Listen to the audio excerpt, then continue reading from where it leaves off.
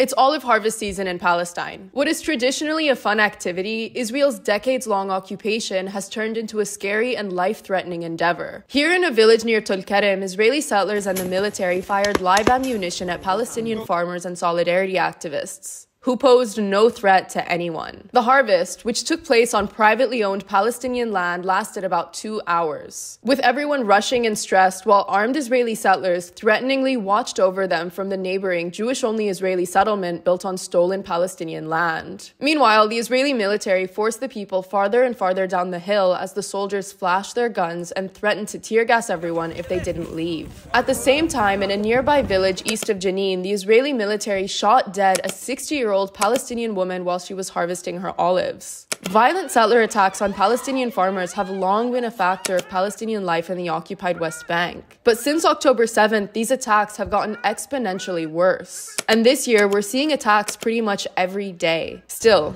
like the olive trees themselves, Palestinians are standing rooted and resilient on their land.